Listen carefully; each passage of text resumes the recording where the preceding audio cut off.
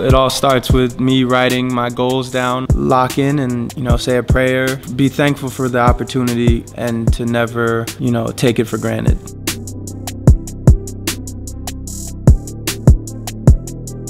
Knowing that I'm playing and making everyone proud, I'm living my dream, so I'm just encouraging everyone to live theirs. Hi, my name is Chris Carter, and I'm on my way.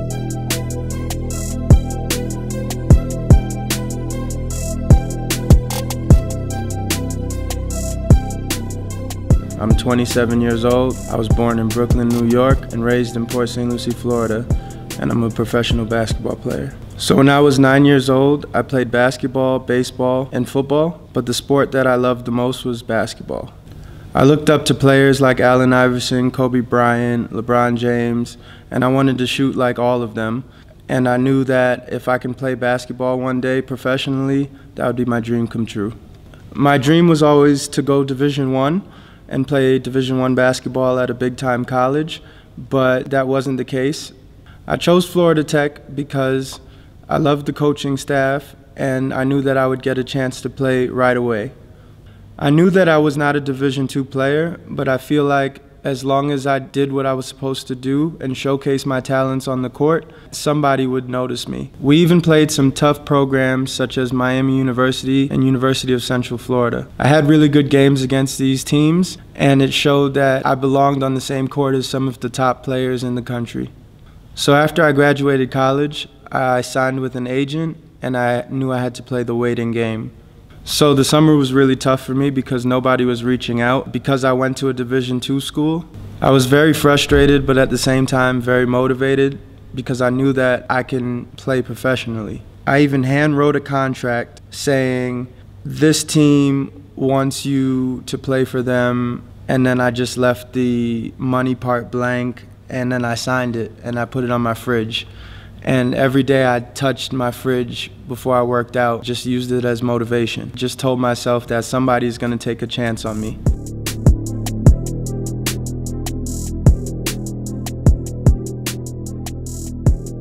Shortly after, maybe six weeks into my workouts, a team from Ukraine called and said that they really liked me and they wanted to offer me a contract. So I signed the contract with BIPA Odessa, which is First League Ukraine. I was super happy. It, my dream came true of playing professionally. Living in Ukraine was something that I'll never forget. It was an immediate culture shock. Everyone spoke Russian, nobody spoke English. The letters were in Cyrillic. I've never seen these letters before.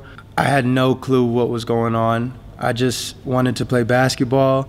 There was only one person on my team that really spoke good English, besides my assistant coach. This guy was 16 years old, so my best friend in Ukraine was 16. It was very tough for me. I immediately tried to learn Russian. By the end of my eight months there, I was speaking a good amount of Russian. This was my first time away from home. I was in a foreign country. I knew nobody, you know, and I just wanted to really just settle in, but I knew that this was going to be the toughest thing of my life. Uh, there was a lot of times where I had depression and sad thoughts, but I knew at the end of the day that I was playing professional basketball. This was my dream. Yes, it's not the NBA, but this is everything that I wanted, and I knew that if I can play and play well, that some other country will take a shot on me and I can do well there too. So I had a really good season in Ukraine, which allowed me to get noticed by Coach Rodrigo from Chemnitz Niners. I was so happy that I got the call from Coach Rodrigo. He said that he was from Germany. I, that's all he had to say for me because I knew I just wanted to get out of Ukraine. And I knew that Germany, I've heard a lot of good stories about German basketball, and that it's a good step up to where I wanted to go to. So, my second professional season, was in Chemnitz for the Chemnitz Niners. I had a really good season statistically speaking. I was probably one of the best guards in the league. Living in Chemnitz was much better than living in Ukraine. It was a big step forward for me. I had my own car, I had my own apartment. I had less depressing thoughts. It was much better for me. There was more Americans. I think there were 3 Americans on my team And so I was much more happier. There was more stuff to do and more places to go to, so I was very happy.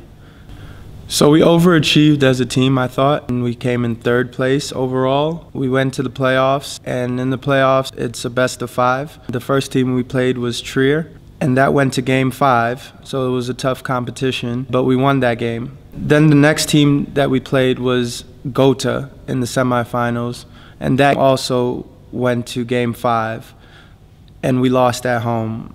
It was probably one of the worst losses that I've been a part of because we worked so hard to get to where we were. It came down to the last shot of the game.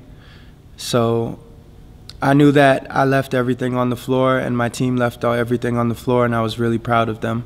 So after that tough loss, I made sure that I had a good summer. I worked out really hard and it didn't take long for my agent to get me the Vechta contract. Vechta was a team from the Bundesliga. They made it clear right away that they wanted to move up again and they wanted me to be the point guard of the team that moved them back up to the first league. So I signed with Vechta and I prepared over the summer to be the best point guard in the league. So we won the championship in my third year playing. Yeah, this was my dream come true. I mean, to, to win a championship in three years, not a lot of people can say they did that. And I was just happy to be a part of that group. Now, my fourth professional season, I knew that I wanted to try my hand in the BBL with the same team that I helped bring up. Going into the first BBL season, I knew that it was going to be very tough. Uh, it was a lot of hard work. Practices were much more different than what I was used to. The coach was really hard on everyone. The BBL season was going really well. We had a Cinderella story where nobody thought that we would even stay in the league to coming into fourth place, which was just unheard of. We had a great group of guys, veteran leaders, um, Josh Young, Austin Hollins, TJ Bray. Some of these guys are playing Champions League and Euro League now. It was just great to be a part of that team that won so many games. So the playoffs went really well for us. We played against Bamberg in the first round, and Bamberg is known for having the most BBL championships. That was just crazy because, you know, this little team that just moved up the year before beat such a powerhouse team. Um, moving forward, we played Bayern Munich in the semifinals, who was a EuroLeague team, and I think that we were outmatched because they had a lot of really good players on their team. But the experience was just unbelievable, and I was just super happy to be a part of that run. Um, personally, my first BBL season did not go the way that I wanted it to. You know, statistically, I didn't have the numbers that everyone expected me to have, which was very sad for me, um, you know, just because I thought that I knew I was better than what I was showcasing at the time. I thought that I've underperformed, and a lot of it was my fault, and I didn't. I didn't play as good as I knew that I could have. Yeah, I just I don't know if it was. I think I had a lot of stuff going on at the house and back home, and um, you know I had just a lot on my plate, which didn't allow me to play at my best.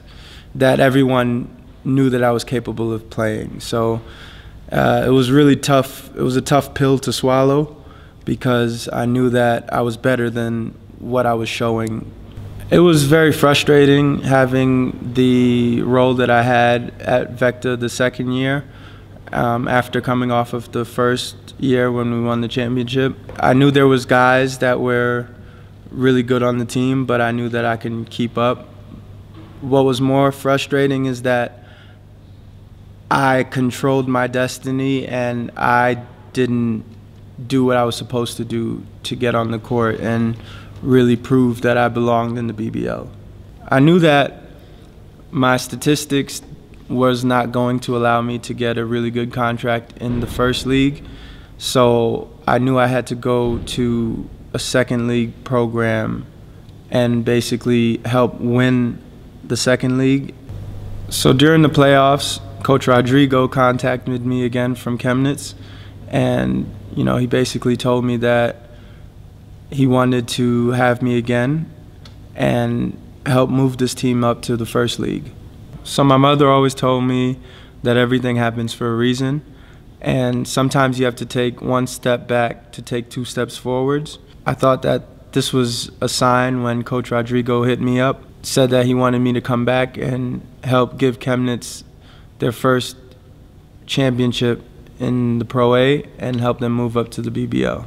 Especially if we do what we're supposed to do and win the championship and move up, this would give me another chance at the BBL to prove myself that I belong there.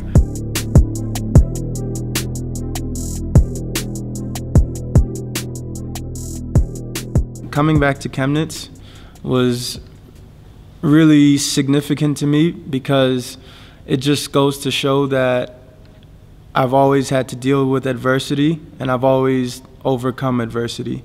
You know, in college I was not Division One, I, I was Division Two, and then you know I really struggled with getting my first job, but then I got it into Ukraine, made it to winning my first championship in three years. So I'm no stranger to adversity, and even right now, currently we won 18 out of 19 games in Chemnitz right now. And so I just want to look at this maybe a year from now or six months from now and hopefully we have a banner and a trophy that we won and that I made it through adversity again.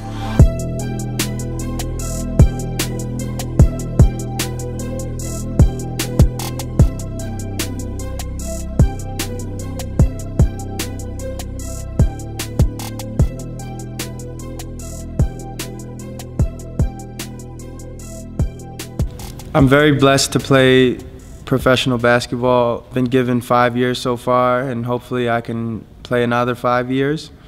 Uh, but I know that basketball will end eventually, and I just want to be ready for when it does. Once the ball stops bouncing for me, uh, I want to publish my first book. The book will be about my experiences playing professionally, things I've learned, things that I've gone through, my trials and tribulations, and also my advice that I would give to somebody that is trying to do what I'm doing. I graduated with my business administration degree. I'm taking courses right now in public speaking, and I'm reading investment books and the value of money and taking care of your money. Eventually, I want to become a business owner.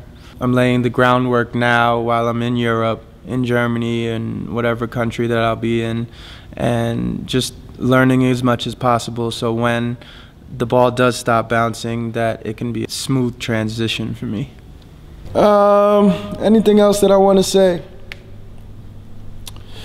Yeah, just take advantage of the opportunity if you ever if anybody else wants to come to Europe, um, take advantage. To, you know, don't be one of those people that stay home and FaceTimes people from back home. I mean, go live your life, go see some things. I mean, I've learned Russian. I've, I mean, small talk Russian, but I've learned some Russian. I know a good amount of German now. I'm still trying to take some classes and just trying to be better so I can be more cultured. Um, I think me being an American and uh, a lot of Americans don't really get out of the out of the country to see the world, and I think that if they do get a chance to really, I think they should really just embrace the culture and and try to see where you fit in in life. Fertig, das war's.